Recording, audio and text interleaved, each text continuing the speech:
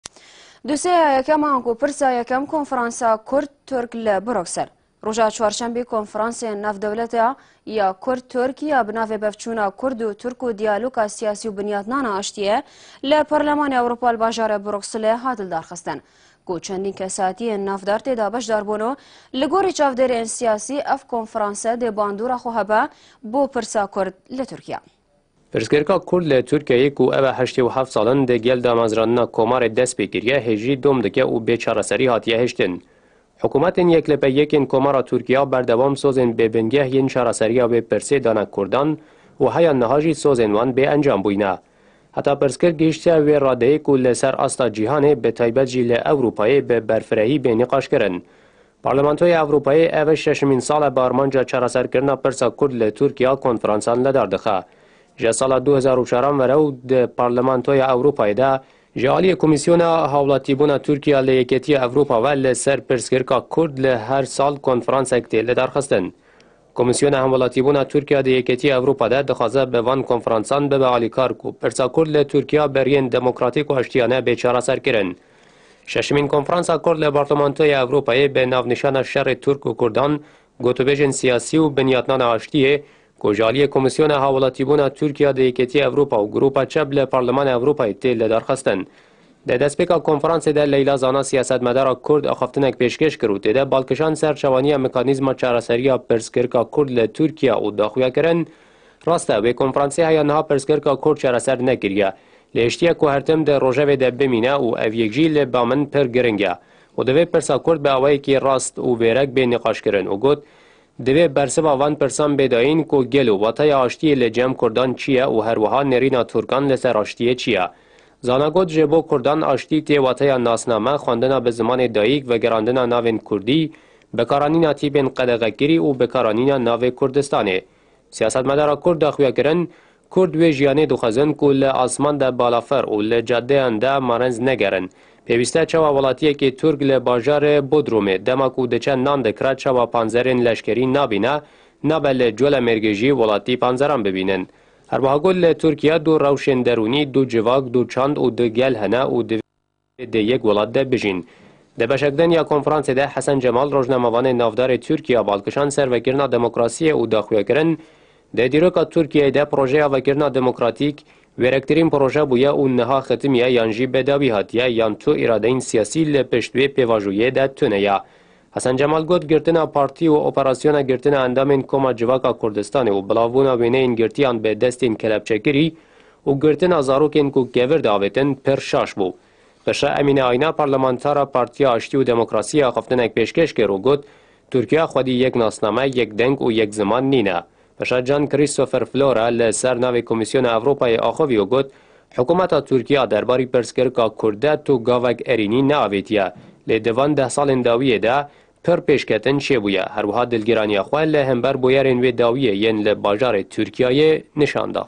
Derbarê ku encamên vê konferansê wekû konferansên din be yan ne, Ramezan Kerîm rojnamevan wiha nerîna xwe bo dosyeya hefte anî ziman.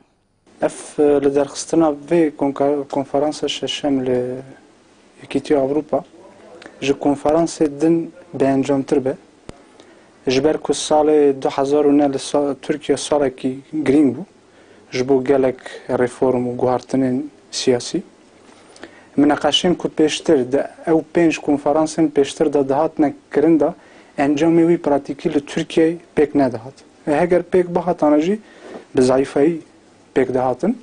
Lê salê du hezar û neh ji ber ku vebûnê demokratîk di meselê kurd de li Tirkiyeyê bi giştî çêbû,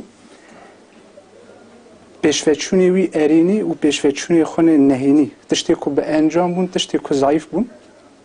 Li em konferansê şeşem de li Yekîtiya Ewropa bi rontir Bi raşkawayî ditwanin li ser ew meselên Kurd li Tirkiyeyê minaqeşe bikin. Ji ber ku em bêjin konferansên pêştir de her du pênc konferansên pêştir de gelek hewlên teorîk minaqeşên di wan konferansa de hatibûne kirin de di warê emelî de li Tirkiyeyê pêş nekevtibûn.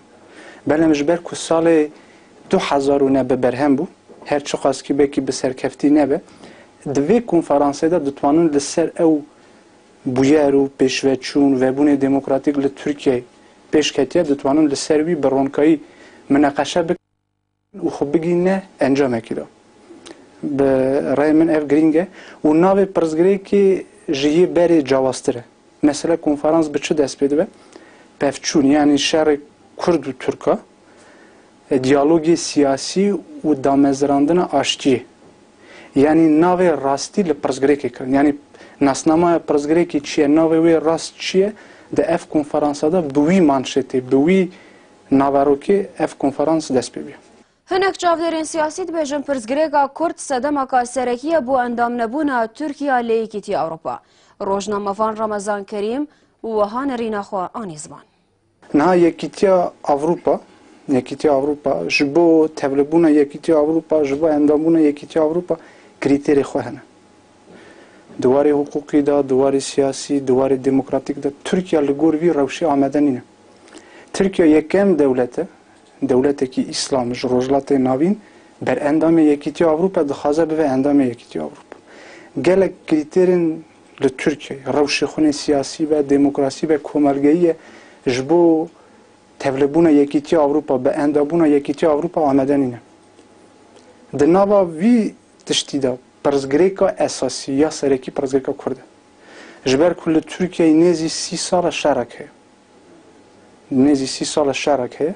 Ji bo vî li gor re heye min ku pirsgirêka serekî Kurd e lê li gel wî pirsgirêkî jî gelek pirsgirêkê din hene.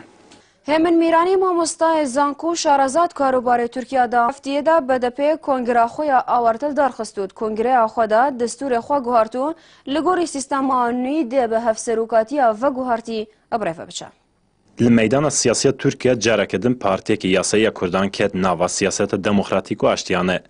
Partiya Aştî û Demokrasiyê, BDP, ku di duyê gulan a sala du hezar û heştê de hate avakirin bi Alternatifa Partiya Civaka Demokratîk, DTP, ku di yanzê Rêbendana du hezar û nehê de hatibû girtin. Partiya Aştî û Demokrasiyê yekemîn kongreya xwe ya awarte li dar xist û bi sîstemeke nû ya rêvebirinê dest bi xebatên xwe yên demokratîk kir. Destbikarbûna BDP pişt û girtina çendîn partiyên Kurdan ket holê ku li Tirkiye her car bi hin hincetan hatin qedexekirin û rayedarên wan jî hatin girtin û ji siyasetê hatin dûrxistin ku herî dawî Partiya Civaka Demokratîk, DTP, bi hinceta propagandaya ji bo PKK hate qedexekirin û hevserok û hin rayedarên wê jî ji siyasetê hatin dûrxistin û hatin girtin. Lê belê Kurd bi vê yekê nêsekinîn û ji bo berdewamiyê bidin xebatên xwe yên bi destxistina mafên xwe yên kolektîf, partiyeke din ya bi navê BDP ava kirin û xistin meydana siyasetê. BDP di kongreya xwe ya awarte de destûra xwe guhart û li gor sîstema nû dê bi hevserokatiya veguhartî birêve biçe. Di hilbijartina serokatiya BDP'ê de Selahedîn Demirtaş û Gultan Kuşanak bi hevserokên BDP'ê hatin hilbijartin û parlamentera Şirnexê Sawahir Bayindar jî bi seroka dîwana wê partiyê hate destnîşankirin. Her wiha endamên meclisa partiyê û endamên yedek jî hatin hilbijartin. Piştî bi dawî hatina kongreyê Serok Wezîrê Tirkiye Recep Tayîp Erdogan bi navê Sekreterê Giştî ya AKP'ê kongreya BDP'ê pîroz kir û nameyeke pîrozbahiyê ji hevserokê hilbijartî Selahedîn Demirtaş re şand. Her wiha hêvî jî kir ku ew kongre bibe sedema xurtkirina demokrasiyê li Tirkiye û di gel xwe xêr û xweşiyê bîne. Lê di heman demê de serdozgeriya Komarî ya Enqerê derbarê kongreya BDP'ê de bi hinceta pesindariya sûc û sûcdariyê û sarkirina gel ji leşkeriyê lêpirsîn da destpêkirin.